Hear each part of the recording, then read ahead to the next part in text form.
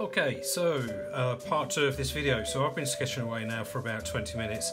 Uh, so the last thing you saw me do was this uh, this guy with his six pack, his eight pack or whatever. And I said take some ideas from these images that we've got here that you've got in front of you. So I've done exactly what I'm asking you to do. So I started off doing this one here using the shape of the great white shark and I just uh, put it on its side just like this and I thought well that that's a nice shape uh, certainly a lot better than the, the sort of fish shape that I did last week. So that's that's based on the shark.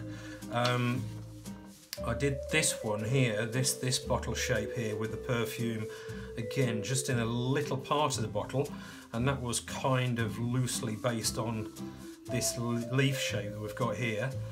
Um, I've done one just at the top here based on the, the shell. Um, and I've actually sort of started thinking about the name of the, the perfume that could go inside. So I've just called it Spiral or we can, we think of a different name later on. But uh, that, that's just an idea. I've also done this one, now that shape there was based on the Gherkin building in London. And I started drawing and I thought well that looks like a bullet especially when you start thinking about the top and how the top is going to come off. So I've, I've started uh, thinking about labelling that one bullet. Uh, this kind of geometric one was loosely based on this design just here. Uh, but I've taken that idea and combined it with a cityscape and I've, I've done a little label here with a kind of a city building on it and I've started thinking about labelling that city. Uh, what else have I done?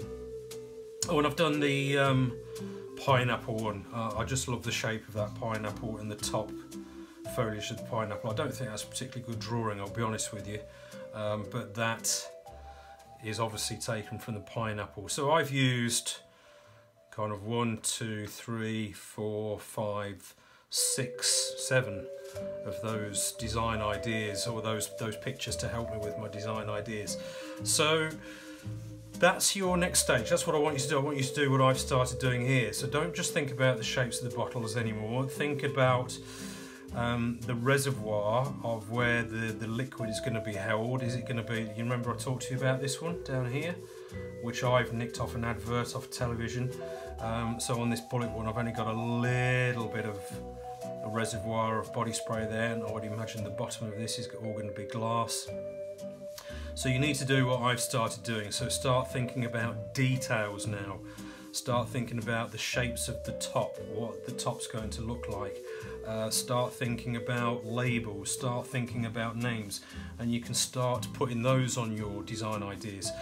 Uh, and again, I said this to you last week, but don't worry about overlapping things. You can see that I've drawn over the top of some of the design drawings that I did last week. Doesn't matter. It really doesn't matter. I want this A4 sheet to look busy, to look lively, to look as though you're experimenting.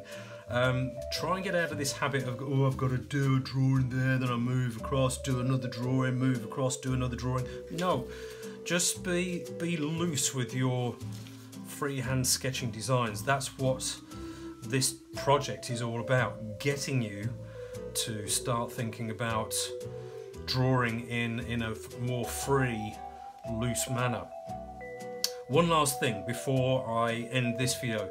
Um, if you look at this sheet here, and this is what we'll move on to later, this th these are not my drawings by the way, um, but these are really nice design ideas and all of them look as though they're, they're made from glass. And I'm going to give you a few hints and tips about how to do this.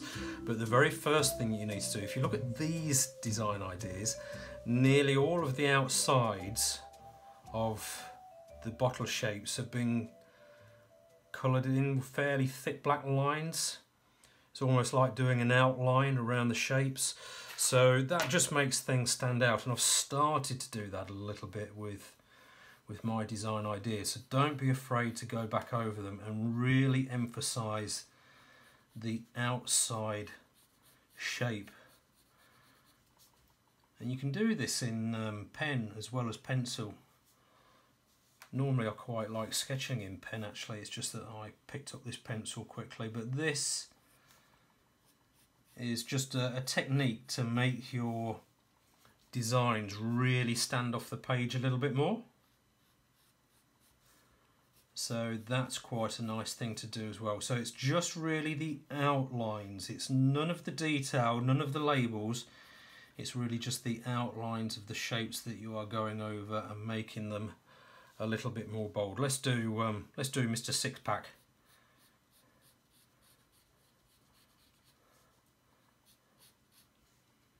Now that bottle wouldn't be very steady, would it? Because we've got we've got this guy's um, how would you describe this part of his body? It's his thighs, isn't it? Going towards his thighs. So we, we might need to put a bit of a leg just there, you know, just to make this bottle